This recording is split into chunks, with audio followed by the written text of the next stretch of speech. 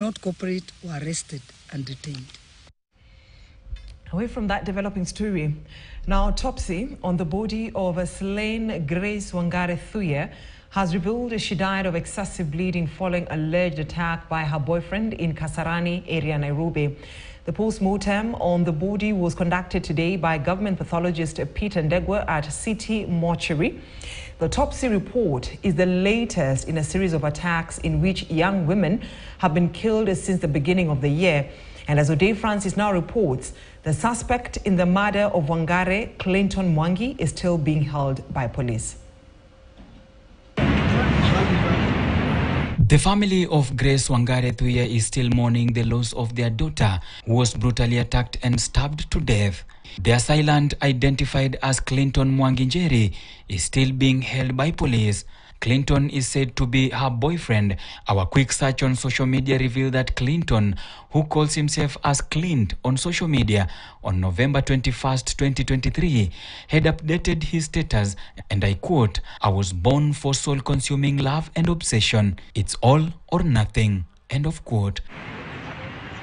Grace's body was recovered along Mirema Road in Kasarani with a stab wound. And today, autopsy was conducted on the body of the late Wangare at City Mortuary by government pathologist Peter Ndegwa. Results shows Wangare died of excessive bleeding. What you are seeing is um, a major stab wound on the buttock, on the right buttock. And uh, the wound is really penetrating deep, going about 11 centimeters deep. And the problem reached the femoral blood vessels on the right side and uh, causing bleeding.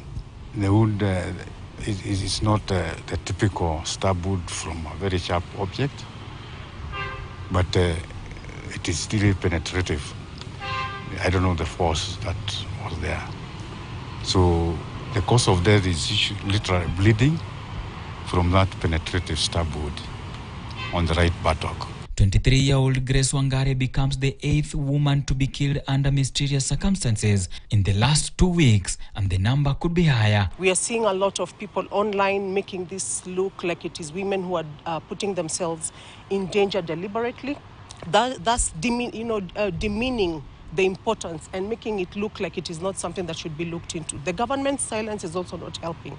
So if we can be able to stop sensationalizing femicide, that would go a long way in us stopping it. Clinton, the main suspect in the murder of Grace, was arraigned and investigators given two weeks to detain him as the family prepares their daughter for burial in Gatanga. But even as the real cause of her death unfolded, police in Gatundu South on Tuesday reported another incident where a woman's body was found in a thicket with missing breasts. Some suspects of these gruesome killings have been arrested, while others are still at large.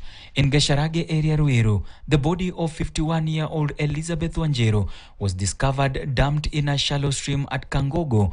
Wanjiru went missing on her way from delivering milk at a local collection center. Investigations have commenced to establish the cause of her death. Gender activists and human rights defenders have come out strongly to condemn the killings. We're here to condemn these acts in the strongest manner possible. Never again that we have to lose our, our young women in, in the hands of beasts. We condemn this and it should never ever happen again. Now, the body of Grace Wangare, who was stabbed to death, has already been examined, and the autopsy has shown that she was stabbed.